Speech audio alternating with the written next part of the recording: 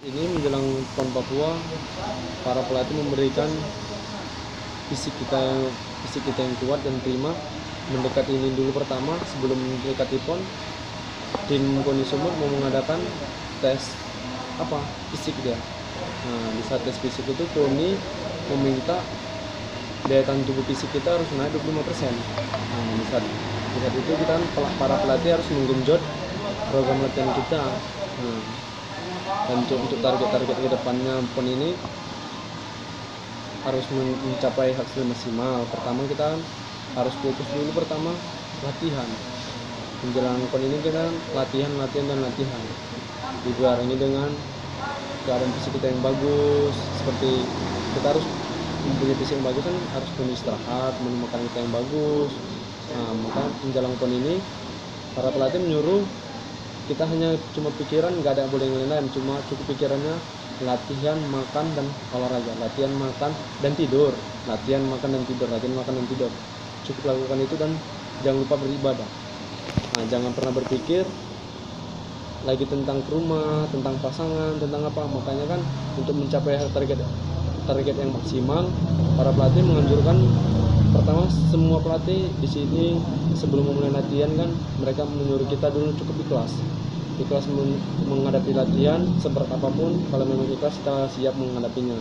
Dan kalau kita siap menghadapi latihan ini kan bertambah fisik bagi kita pribadi sendiri untuk melaksanakan pon akan datang nanti. Dan untuk lawan-lawan nanti kalau saya pribadi melihat lawan yang berat itu cukup masih dua saya lihat. Cukup Sulawesi Utara dan Bali. Dan nggak menutup kemungkinan Papua. Papua kan otomatis tuan rumah itu kan persiapannya sangat maksimal. Tetapi sampai sekarang ini aku belum tahu kandidat nama dan lawan itu dari Papua. Tetapi kalau dari Sulawesi Utara Juan Abbas saya sudah mengetahui cara metode permainannya dan begitu juga dari Bali. Kalau Juan Abbas kenapa saya bilang menjadi lawan?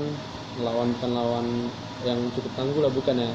Yang wajib diwaspadain karena untuk Indonesia kelas 46 kg masih dia juara nasionalnya dan dan Bali itu menjadi runner up-nya mereka selalu bersaing. Nah, saya bisa melihat mereka bukan bukan saya tidak sanggup karena baru ini saya turun kelas.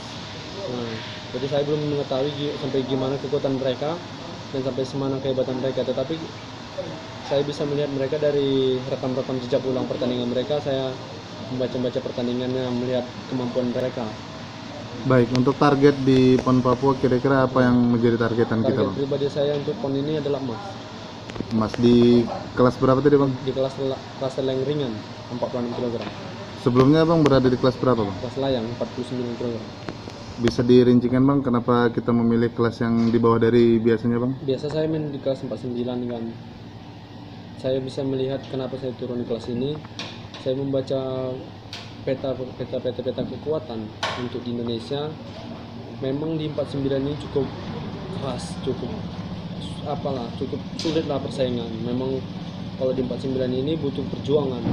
Bukan juga di 46 nggak butuh perjuangan tetapi kan kita harus bisa melihat peta kekuatan peta peluang. Saya lihat 46 ini peta peluang saya untuk emas terbuka lebar.